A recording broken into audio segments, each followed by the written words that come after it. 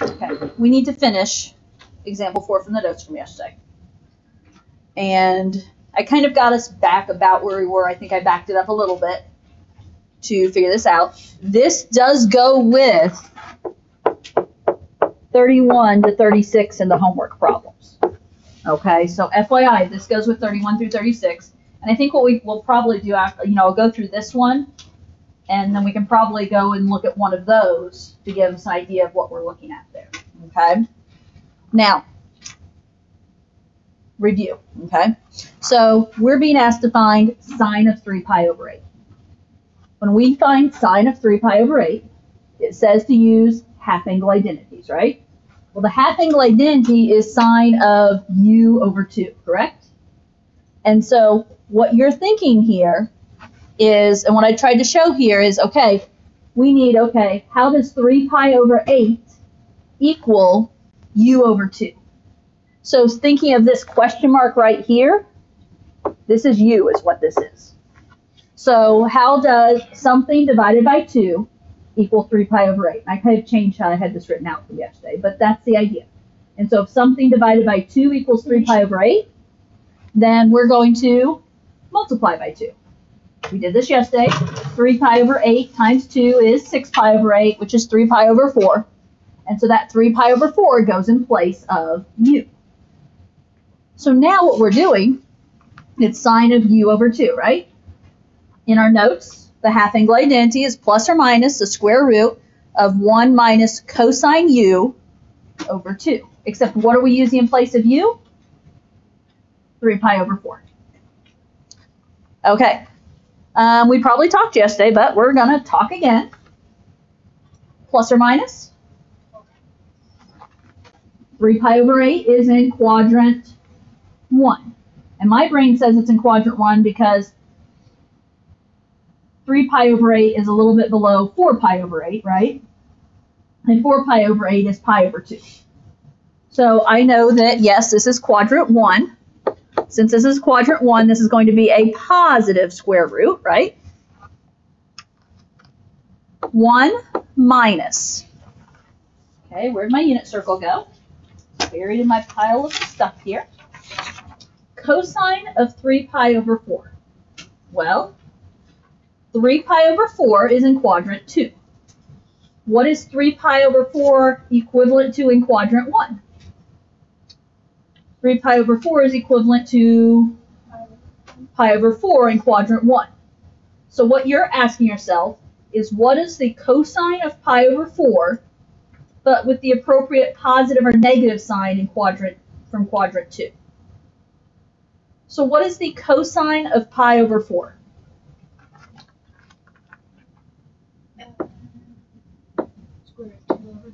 Square root of 2 over 2. But we're really talking about 3 pi over 4, which is over here in quadrant 2. What do you know about cosine in quadrant 2? All students, so cosine is negative. So this is really 1 minus the negative square root of 2 over 2, all over 2. Plus, or does it have? Nope, um, it's going to become plus here momentarily. Okay. Yep. Nope, I just, I feel like I have to, at this beginning stage, write it as minus a negative first to make sure everyone sees it. But then, exactly, what do we know about minus a negative? It is plus a positive. Okay? Now, a couple of different ways, and I kind of changed this up from past years of how I simplified. We need to simplify this, right? We can't leave fraction within fraction, all under a radical. Like, this is just ugliness. The other day, in a previous lesson, we talked about dealing with fractions within fractions, right? How do we deal, is when we are simplifying the tangent sum and difference identities. How do we deal with fractions within fractions? There's a denominator, this denominator right here, right, of 2. We need that denominator of 2 gone. If it's divided by 2, we want to multiply by 2. And so what we're going to do here is we're going to multiply the numerator by 2. If you multiply the numerator of a fraction by 2, we multiply the denominator by 2. And we're multiplying by 2 over 2, which is just 1. So I haven't changed the value. I'm just multiplying by 1. Are we okay with what I'm doing? Okay. So carrying down, square root. Now officially this 2 has to, on top, it has to distribute, correct? 2 times 1 is 2 plus square root of 2 over 2 times 2. Or if you preferred, you need to think of these as 2 over 1. Square root over square root of 2 over 2 times 2 over 1.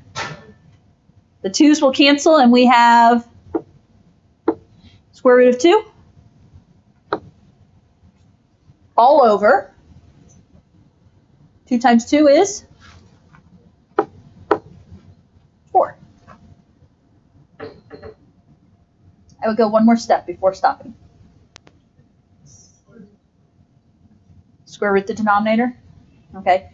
Square root of 2 underneath an already square root. I can't do anything about that. It's not pretty, but I can't do anything about it.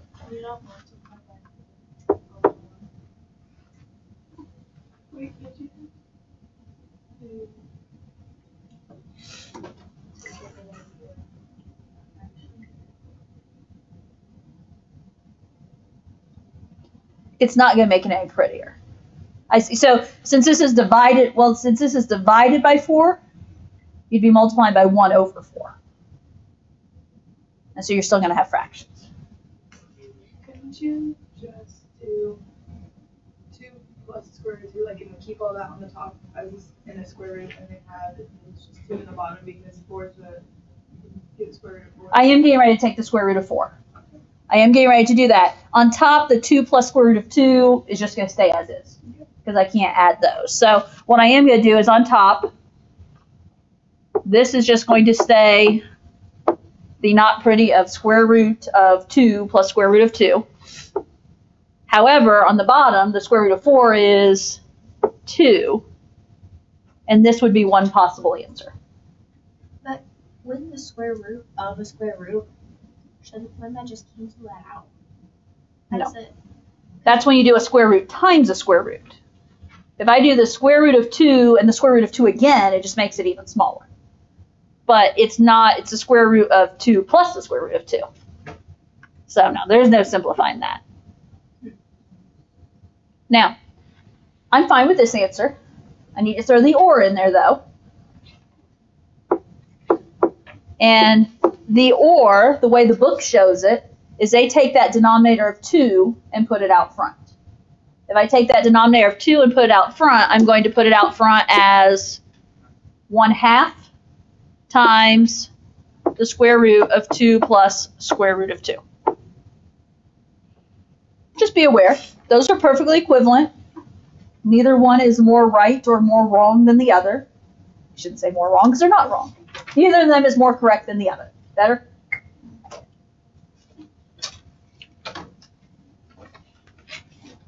Okay. Now, my original plan was to stop here and end the recording. However, for the benefit of those absent, I think I'm going to continue my recording because they're going to need help too, right? Now, this one we just did pairs with 31 through 36. What do you think? Well, this one's fresh in our minds, so we go attempt one of those. Do you wanted the uh, degrees ones? Okay. And the degrees is no different. Those confused me. But don't let them confuse you. Okay, so the request is one of the degrees ones. Um, It's already. how about about 32? 32?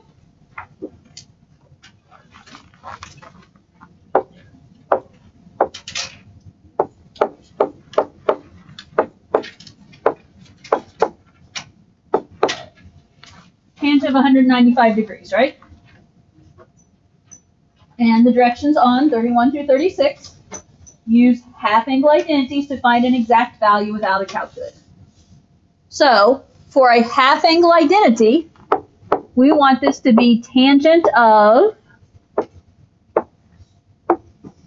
u divided by 2. Yes? Except we need to find what u is. So right here, this is tangent of u divided by 2. Now, the idea here, notice guys, I need, if this is an equivalent statement, I need 195 to be equal to u divided by 2. So this is the best way I can think to explain is I want this u divided by 2 to equal 195 degrees. The notes example was in radians, right? This is degrees. It's still the same math concept though. If something divided by 2 equals 195, what is that something? What do we need to do here? We need to take 195 and multiply it by 2, and we get 390. So right here is my 390. Yes. I'm gonna do this all because I was thinking about the one where, like I, I said like tan I did the one thing where we like went from the axis. Do you remember when we did that? The reference angles where you're, I yeah. was doing that, like trying to get it to. It's like how far is 195 from, yeah, no. Oh. Okay. I got all those wrong.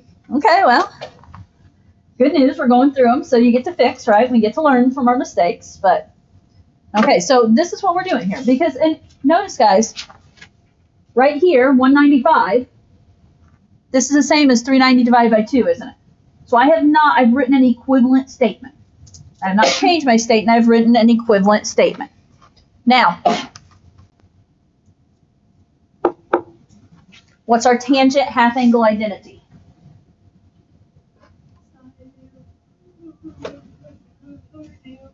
Okay. So sine u, what's u? For the 90. 390 over 1 plus cosine u. What's u? 390. This is how you're going to do all of these in this section, right? Now, we have to figure out the sine of 390. What do your brains think when you hear 390? Subtract 360. Okay, it's bigger than 360. So I need to subtract 360. If something is bigger than 360, you can subtract 360. If something is negative, you can add 360, right? And I mean, you can do a visual here too. If I'm at 390, what's that? So right here is 360. Where am I going to end up? We're going to end up right here, aren't I? At what is it? 390 minus 360 is 30 degrees. I did sine of 32. Maybe it's just a coincidence. It probably is.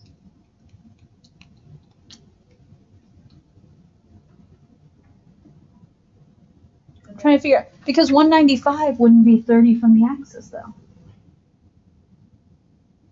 I did. So like I did like 15 from 180, right? Okay. So then I had tan of 15, and then I multiplied Oh. that by Oh, okay. 30. It, Okay. we'll see if it works in the other one. I was gonna say, and that's the thing, it's gonna work in this one. I'm trying to process if that would always work. Maybe, maybe not. I think it would work, it just might throw off your plus or minus signs. That's where I feel like it's gonna throw you off. So, okay, so basically, instead of 390, 390 is equivalent to 30 degrees. So I'm gonna do sine of 30 over 1 plus cosine of 30. Okay. What's the sine of 30? 1 half over 1 plus, what's cosine of 30? For 3 over 2. Square root of 3 over 2.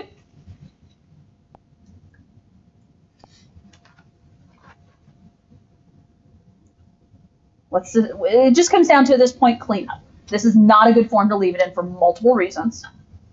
What's the skill we've been using? Multiply it by two. Okay, I have fractions within fractions. Yuck. So to get rid of a denominator of 2 on top, you multiply it by 2. You do that on top, we do that on bottom. And I can do this because I'm multiplying by 2 over 2, which is 1. I keep repeating that. On top, 1 half times 2 is uno. On bottom, officially you need to distribute. 2 times 1 is 2 plus 2 times square root of 3 over 2. 2's cancel and you have square root of 3. Again, just like in lesson 5-3, the answer key is not going to stop here. Not reciprocal. Give me a different vocab word. Conjugate. Just because you said reciprocal, you might still know what you mean in your head. You likely do. But, okay, because I can't leave a radical in the denominator, we're rationalizing. If it's 2 plus square root of 3, I'm going to multiply by 2 minus square root of 3. As always, what we do in the numerator, we do in the denominator. Wait, we can't use this for No, this section's been, this whole chapter's been rationalizing. So it doesn't matter if it's on the top or the bottom, we don't do this. You can leave a radical in the numerator. Okay, You just can't leave a radical in the denominator. okay, because I did that with the one before this one, and it wasn't this small, but I didn't- Top is okay. Okay. Okay, speaking of the top, the top's easy to multiply, right? 1 times 2 minus square root of 3 is just going to be 2 minus square root of 3. On bottom, I need to FOIL. 2 times 2 is 4. These are conjugates, so I tend to kind of not write down the middles. 2 times negative square root of 3 is going to be negative 2 square root of 3. Square root of 3 times 2 is going to be positive square 2 square root of 3, so those are going to cancel. What about square root of 3 times negative square root of 3? Minus 3. Okay? On top, I have 2 minus square root of 3. On bottom, what is 4 minus 3? 1. And so the answer key will have this as 2 minus square root of 3. You don't need to write a denominator of 1 unnecessarily.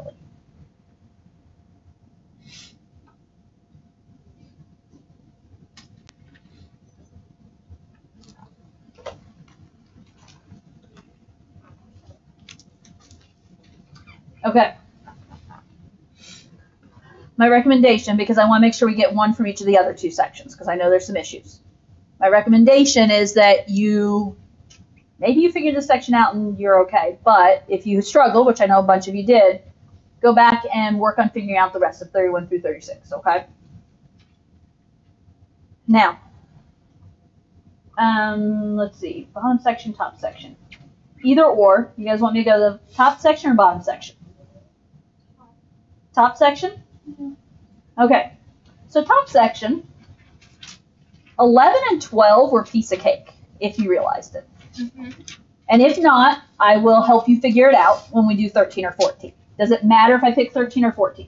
Mm-hmm. Okay, so I'll just go for 13. Because, um, yeah, let's just say I plan to talk about this because there's definitely a huge catch.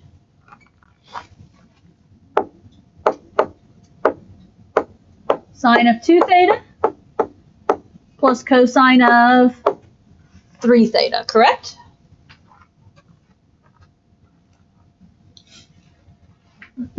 okay. As we look at this one,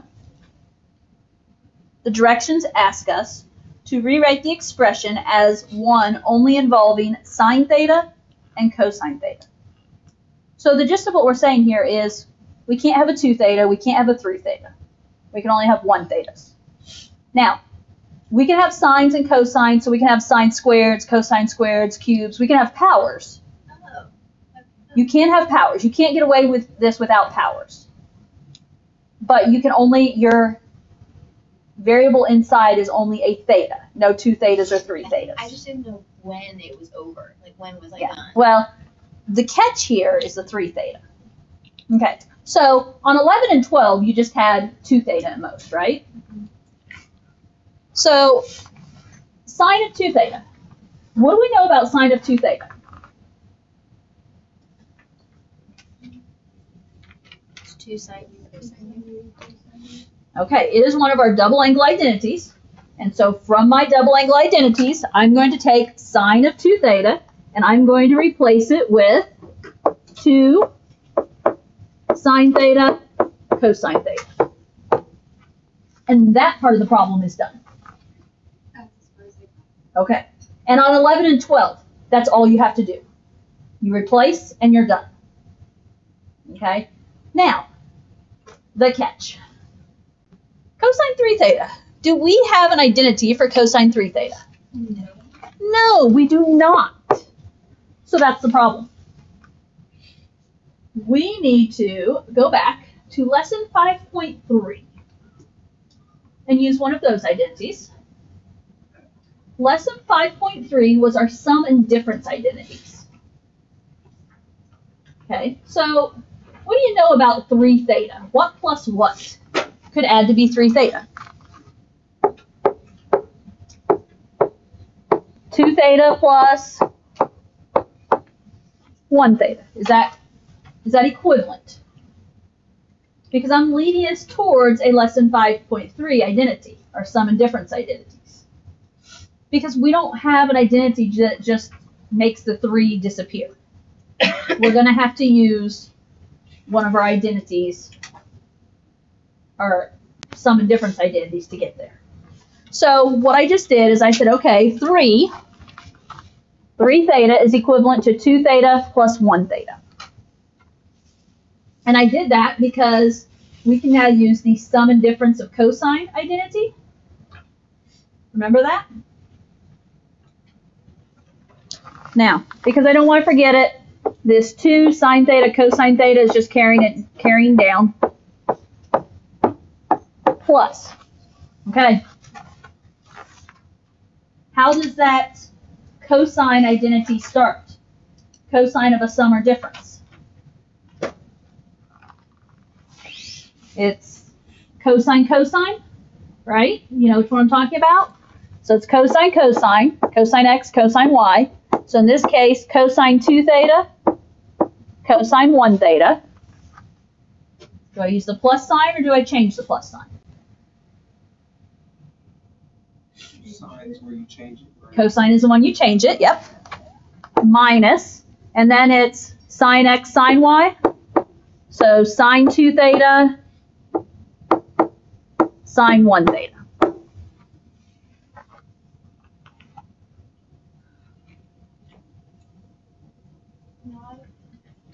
Now, I know it doesn't seem like it, but we have made progress. I don't have any 3 thetas left.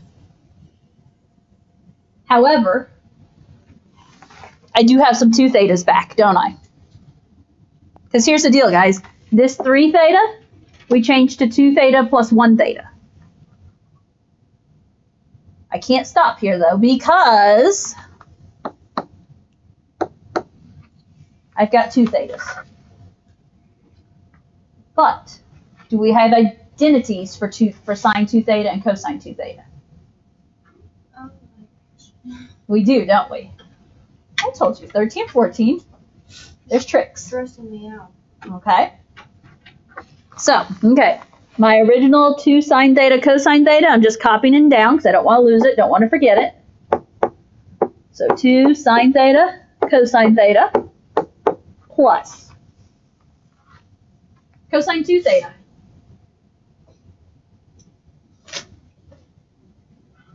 Go to your identities. What do we know about cosine 2 theta? Cosine squared u minus sine squared u. Okay, cosine squared u minus sine squared u. Technically, you can use any of the three. Problem. There's two different answers as possibilities, so it's either way simplified to one answer or the other. Okay, I'm just going to go with This is going to replace to be the cosine squared theta minus sine squared theta. Now, what do we also have here? Don't forget, it's still being multiplied by cosine theta. So I replaced cosine 2 theta with cosine squared minus sine squared theta and just brought down my cosine theta. Because after this step, we just, we're going to have some cleanup to do. Minus. What do we know about sine 2 theta?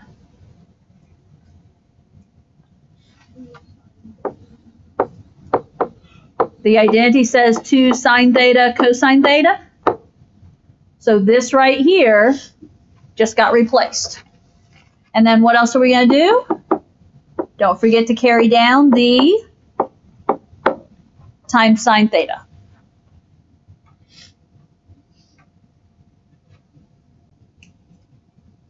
Good news.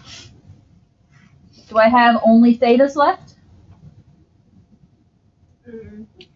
Oh, yes. We have some squareds there, but remember I said squareds are okay. We just have one thetas. It's cleanup time. So is two sine cosine, is that all one term? Two sine cosine is one term. No, because this 2 sine cosine is multiplied by sine. We are going to look for like terms, but I need to take a multiplying step first. Then we're going to look for like terms. Distribute. Okay, so this initial 2 sine theta cosine theta out front, guess what? For the umpteenth time, I'm carrying it down. Now, cosine squared theta minus sine squared theta. Even if you use one of the other two possibilities, you now need to take the cosine here and distribute. What is cosine theta times cosine squared theta?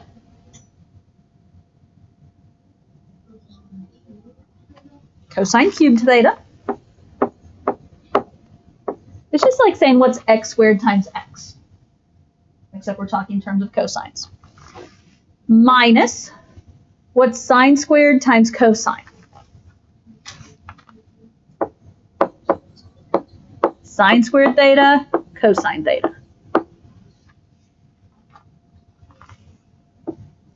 Minus what's 2 sine theta cosine theta times sine theta?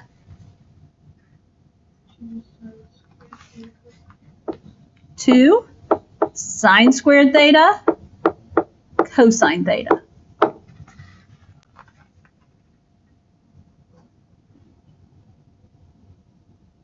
There is one last cleanup step. I have a sine theta cosine theta term. Do I have any other sine cosine terms? You take away one of those. Mm, I don't have any that are just sine cosine. Changes factor. No. Mm.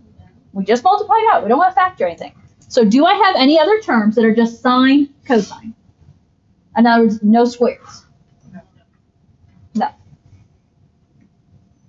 Do I have any other terms that are just a cosine cubed? No. Do I have any other terms that involve a sine squared and cosine? Yes. Yes, because this is also here a sine squared and cosine. In my morning class, we had it, one of them was switched, I don't know which, but we had it cosine sine squared with one of them.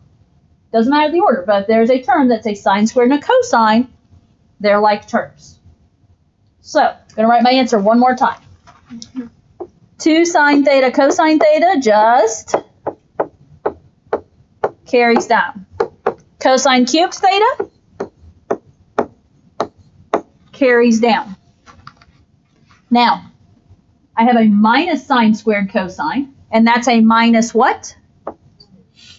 This is a minus 1 sine squared cosine, minus 2 sine squared cosine.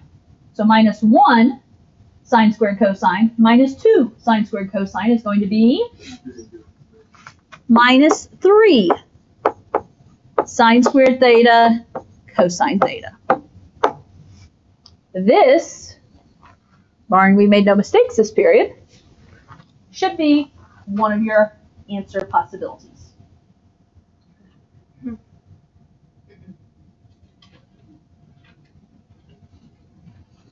Okay. Um, well, you're done when there's no more two thetas or three thetas. And then, like two rows ago, we had no more two thetas or three thetas. But you need to do your multiplying, like multiply things together to see if there's like terms. Because there will sometimes be like terms, which is what happened here. Okay? 14 is going to be a similar type situation where you have to use, you have to break that three apart.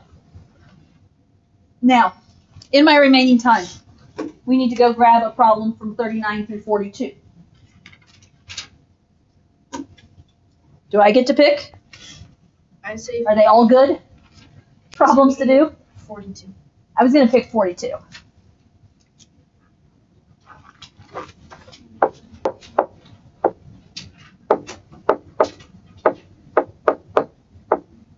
Okay, we're going to have to move because I want to make sure we don't get caught here. I don't think we will, but sine to the fifth x. This is a proof, right? It says to use the power reducing identities to prove the identity. So we're beginning with sine to the fifth, and my goal is to end up with 1 8 sine x times whatever that other piece is. 3 minus 4 cosine 2x plus cosine 4x. That's my goal. Now, hint one, it told us to use power reducing identities. Hint two, this is a lot like yesterday when we, we had cosine to the fourth in homework, right? We only have power reducing identities for sine squared. So what? How should we break that sine to the fifth up?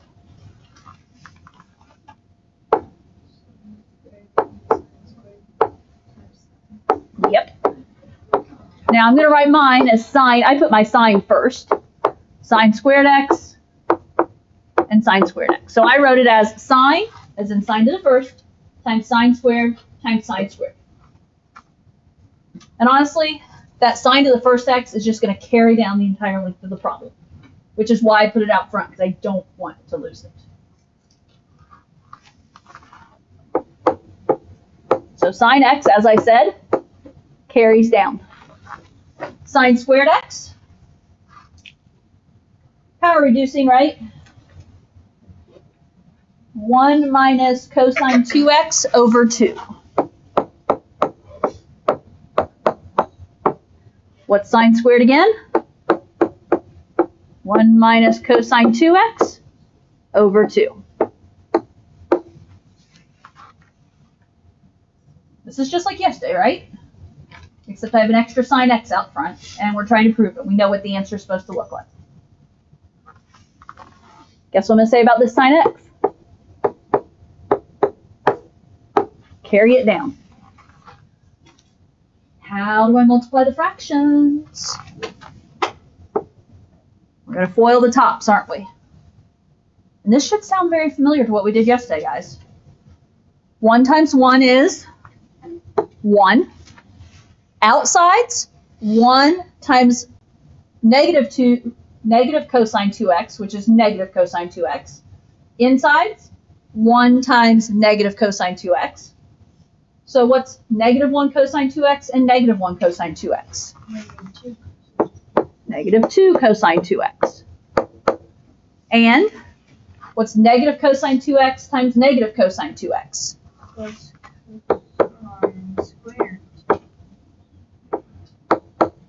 plus cosine squared 2x.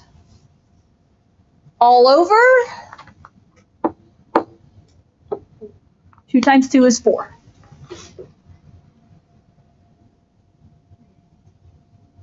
I would encourage us to follow the same steps from yesterday. Okay, now, as we check, it said to use the power reducing identities. Notice There's still a squared here, yes? Are there any squareds in my answer? No. The whole point is we're going to have to get rid of these squares. So this is my problem child right there. Do you remember yesterday how we used the power reducing identity again? That's what we're going to do. Now keep in mind, this is cosine squared 2x. So remember that 2x is in the position of u. Okay, now, sine x out front is staying out front. Like yesterday, I'm going to take this and break this into three individual fractions. Denominator of 4, well, 1 divided by 4 is going to be 1 fourth. Minus, now it's 2 over 4 cosine 2x. But we know 2 over 4, 2 fourths is 1 half cosine 2x. Plus, coefficient in front of cosine squared 2x is 1. So in terms of coefficients, this is going to be 1 over 4, 1 fourth. And then, do you remember how yesterday I switched out the cosine square? So this is where cosine squared 2x, the identity for cosine squared, the power reducing identity is 1 plus cosine of 2u. What's in place of u? 2x all over 2.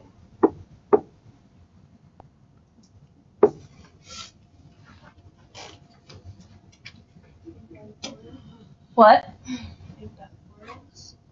Yes, it is going to be 4x. And I will have that in my next step. Okay, sine x out front. Stay sine x out front. I'm going to, for the moment, just copy down my 1 fourth minus my 1 half cosine 2x. And I'm just going to, I'm not going to distribute my 1 fourth yet. I'm going to take what I have here in orange and break it into my fractions.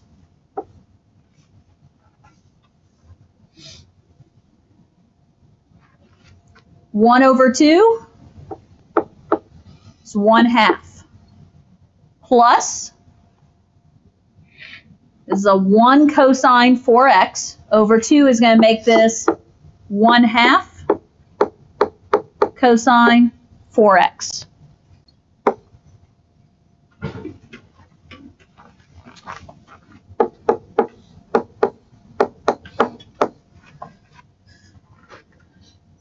Sine x is carrying down out front again, yes? And what do I need to go back and do with this 1 fourth? Distribute the 1 fourth. So we're keeping this, the first 1 fourth, minus 1 half cosine 2x. We're just carrying those down for the moment. Plus 1 fourth times 1 half is going to be 1 eighth plus. Now, when you do this, it's 1 fourth times 1 half cosine 4x is all one term. So 1 fourth times 1 half cosine 4x is going to be 1 eighth cosine 4x.